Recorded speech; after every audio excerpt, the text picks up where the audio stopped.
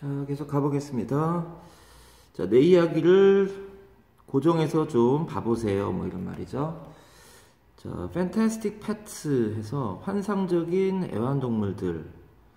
Welcome to Fantastic Pets에 오신 걸 환영합니다. 라고 되어 있는데, Welcome to는 아주 유명하고, 전치사 to가 온다는 게 유의해야 될 부분이죠. 그러니까, 어디 어디에 온 걸 환영해. 이 말이죠. 웰컴이 동사죠. Fantastic Pets라고 누워있잖아요. 이렇게 누워있는 걸 이탈릭, 이탈리아, 이탈릭 체라고 해요. 이탈릭 체로 강조되고 있는 거죠.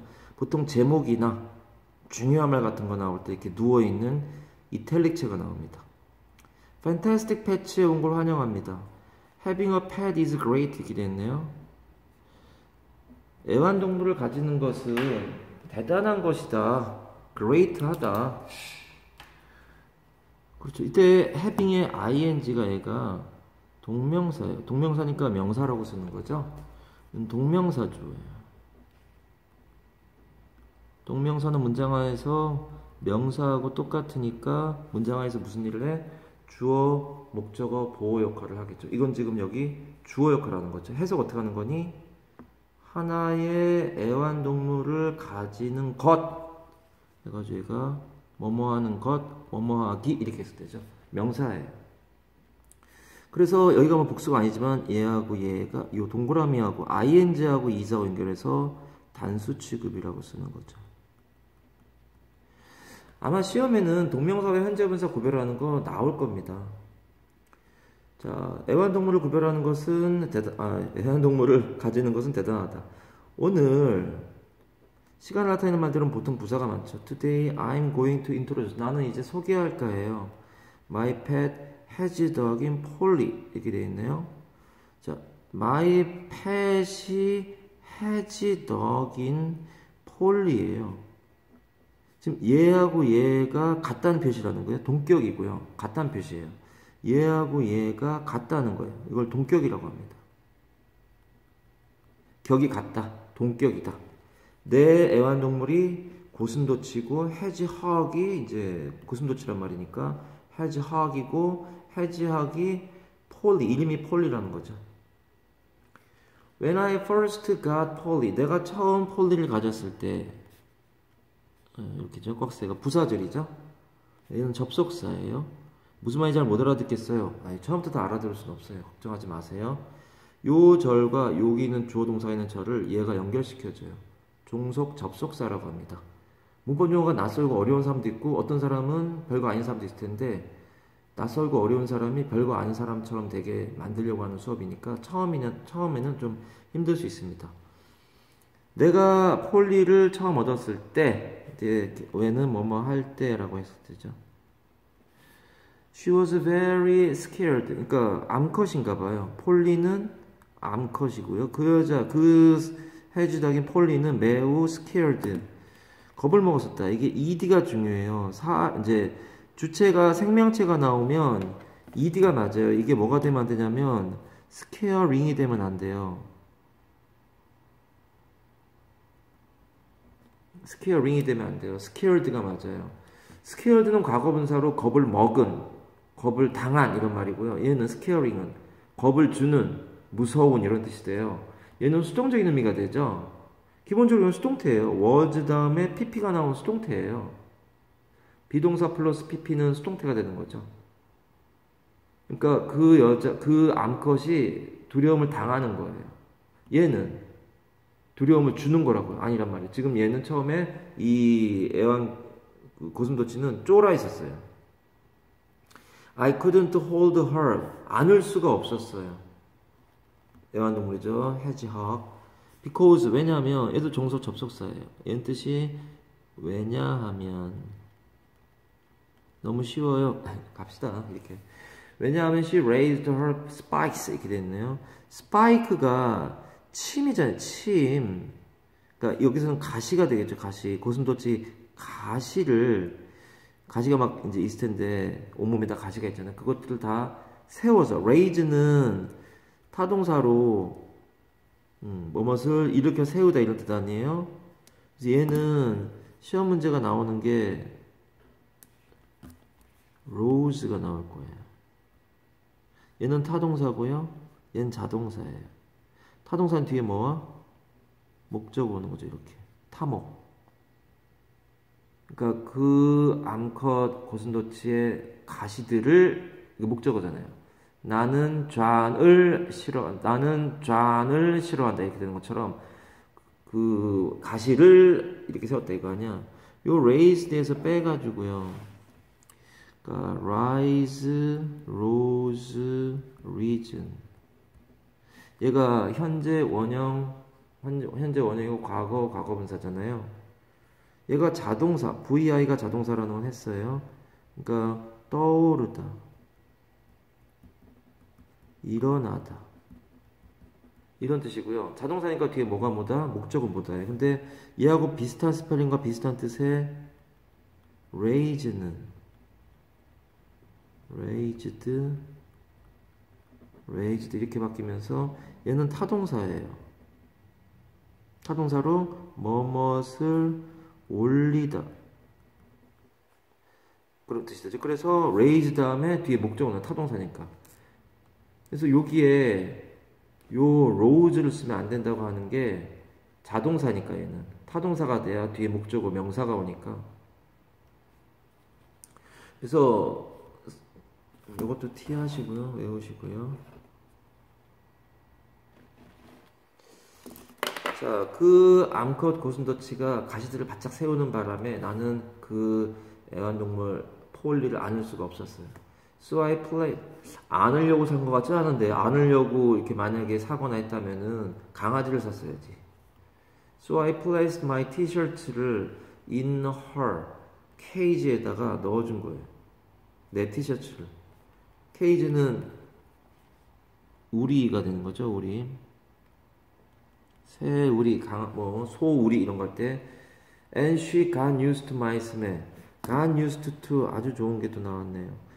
여기서 빨간색으로 써 있는 건 되게 중요하다는 얘기예요. 이 to는 뭐뭐에 익숙하다. 또는 뭐뭐에 익숙해지다. 이런 뜻이죠.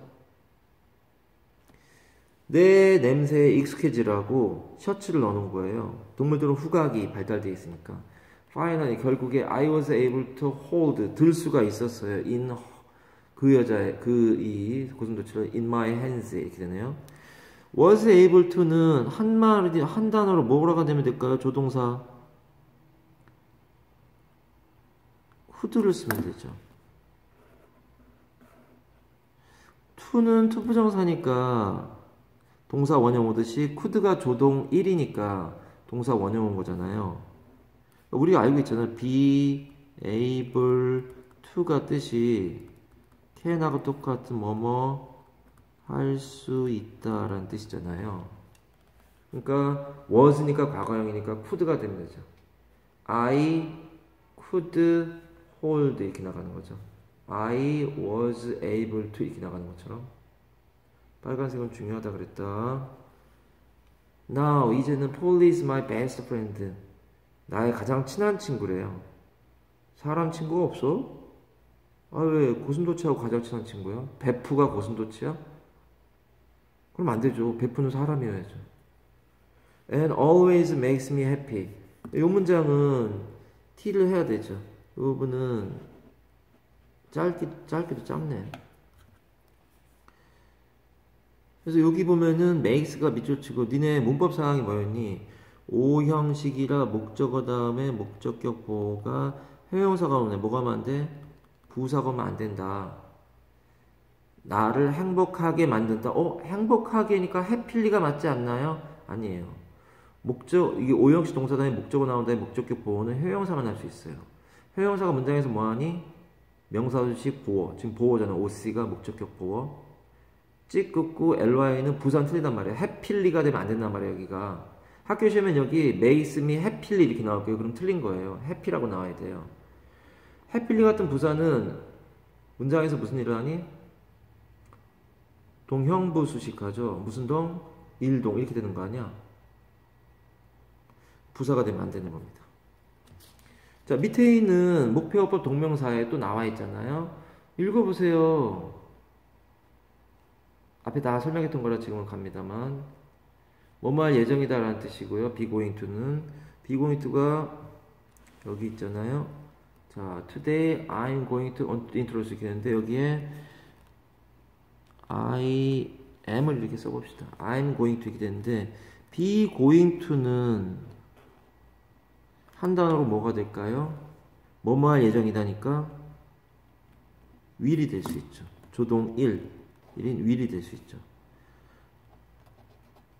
그래서 be going to를 한 단어로 will이라고 하면은 뭐뭐 할 예정이다. 자, will도. 그러니까 I will introduce나 I am going to introduce나 be going to나 will이 같은 말이라는 거 아니야? 얘하고 똑같은 거네요. be able to가 조동 원인 could하고 같아진다는 같은 거네요. 이렇게 연결시켜 놓고요. 연결시켜 놓고요. 별표 하세요. 별표. 그러니까 얘를 한 단어로 be going to를 한 단어로 will was able to를 한 단어로 could 이렇게 쓸 수 있다는 거구나. 그러니까 동격 관계라는 말이 써 있죠. comma를 사용한다고 콤마 아니야 발음 틀렸어 comma가 맞아. scared는 겁을 주는 게 아니라 겁을 먹은 거예요. 타동사라는 얘기 나오잖아요. raise가 그래서 자동사 rise가 과거형인 rose가 나오면 안 되고요. get이나 become used to 뭐뭐에 익숙해지다라고 해서 어, be used to는 뭐뭐에 익숙하다고 get used to는 익숙해지다라는 뜻입니다. 그래서 요 부분이 여기하고 연결해서 요렇게 연결해 보세요. 아, gat도 되고 became도 되겠구나. 그럼 같은 말이에요. 뭐뭇이 되다라는 뜻의 같은 말이에요. 익숙해지다라고 해야 더 정확할 것 같아요. 여기다가 익숙해주다라고 쓰세요.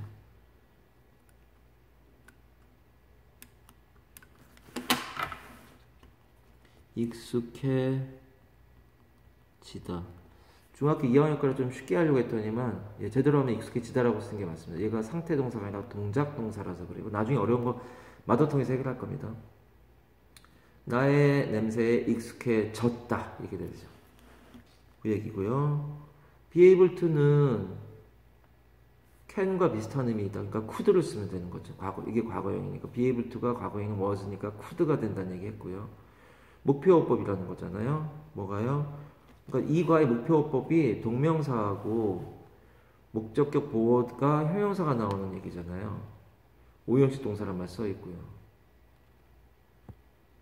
이런 동사들이 여러 개가 있다는데 이걸 외우라고 하진 않아요. 형용사 나와야 됩니다. 그러니까 뭐가 나오면 안 된다고요?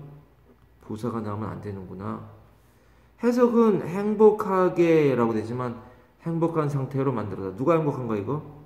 얘가 행복한 거라. 그러니까 목적어가 행복한 상태니까 목적격 보호를 형용사로 써요. 보호는 형용사밖에 할 수가 없고 명사하고 보호, 형용사가 보호 역할 하잖아요. 얘들아 명사가 명사가 문장에서 뭐하니 주목 보호하잖아요. 형용사는요